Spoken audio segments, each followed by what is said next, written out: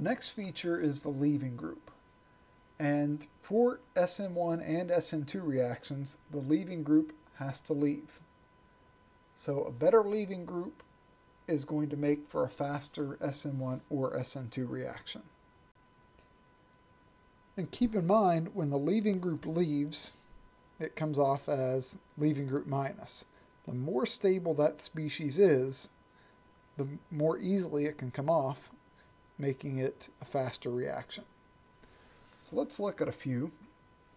I'm going to put down here at the bottom of my list alcohols and amines. So those are terrible leaving groups. OH and NH2, you generally are not going to lose those. Likewise for your halides, fluorides tend to not be very good leaving groups.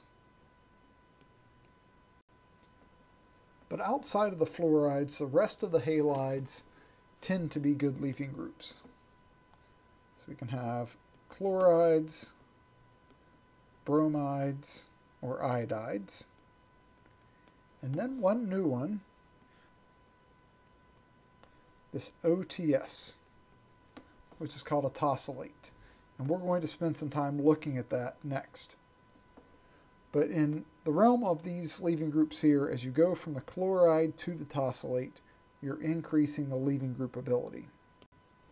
So you already know why this is. Um, so I'm going to leave out the tosylate for now, but just comparing the chloride to the iodide, think back to what you learned with acids and bases. When you lose the chloride leaving group, you get Cl minus. When you lose the iodide leaving group, you get I minus. In terms of size, the Cl is relatively small, the I is much larger. For that reason, the negative charge is more spread out and it's more stable.